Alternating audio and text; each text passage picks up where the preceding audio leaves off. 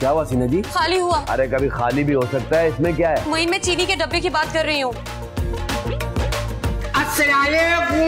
वालेकुम सलाम कहो। बस अब कहने सुनने को क्या रहेगी अबे रोना किस बात का है? बेरोजगारी का। लेकिन तुम्हारी नौकरी तो चल रही है ना? मैं तो आपकी बेरोजगारी की बात कर रहा हूँ। हसीना मोइन की कहानी जुमे की रात सात बजकर दस मिनट आरोप